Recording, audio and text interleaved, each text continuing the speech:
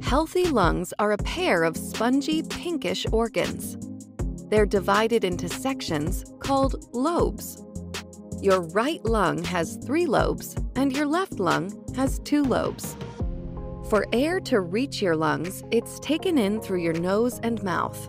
It flows down through a tube called the trachea. That's your windpipe.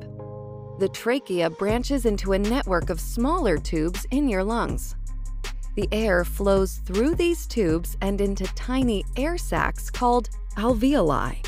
These sacs are surrounded by small blood vessels. Your lungs' job is to take in air and pull the air's oxygen into your blood. When you breathe in, oxygen crosses a thin wall in the alveoli and goes into your bloodstream, which carries it to all the cells of your body.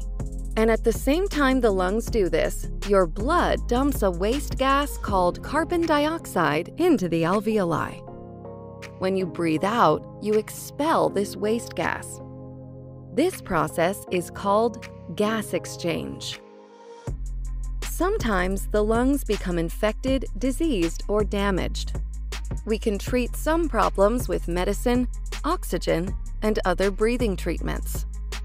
If you have an issue in one lung, we can remove part or all of it. You can live with only one lung, but you'll have shortness of breath when you're active. It's important to keep your lungs healthy by avoiding things like smoking, vaping, and breathing in harsh chemicals.